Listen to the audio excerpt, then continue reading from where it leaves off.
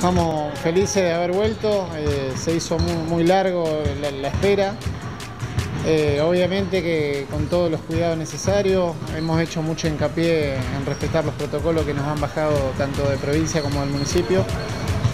Eh, así que bueno, había ansiedad por un lado, por otro lado también un poco de, digamos, de temor por esto de la pandemia, de no hacer las cosas mal pero bueno, este, pudimos acomodar todas las cosas para poder arrancar, ya es el segundo día.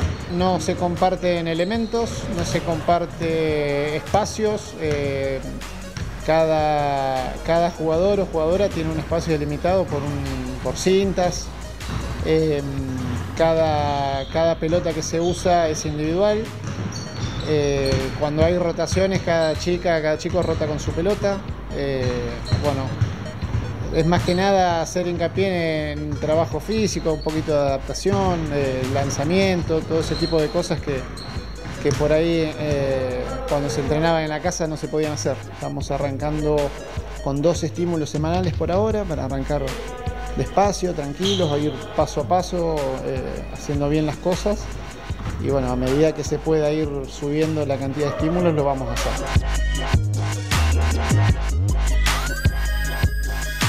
Nos costó mucho en realidad, porque estar fuera de estado hace mucho tiempo, o sea, entrenar en la casa no es lo mismo que en el club, así que nos está costando bastante.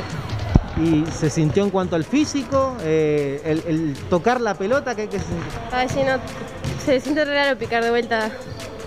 Y también el físico. Yo me cansé, en mi caso me cansé un montón. ¿Y compartir con las compañeras? Porque me imagino que hacía mucho también no las veías. ¿Qué, qué significa volver a verlas? Eh, en realidad les extraño un montón a todas. Hoy no están todas, pero es lindo ver algunas, así que está bien. Ya estábamos entrenando eh, con Joaquín y hacíamos un poco de pelota, pero bueno, obviamente que no es lo mismo. El, movimiento es diferente, me imagino, y cómo sintió el cuerpo también. Sí, además de que estar en tu casa no tenés mucho lugar y no es lo mismo ni tirar al aro ni estar en la cancha. Eh, y bueno, yo estoy muerta. ¿Qué es el básquet para vos?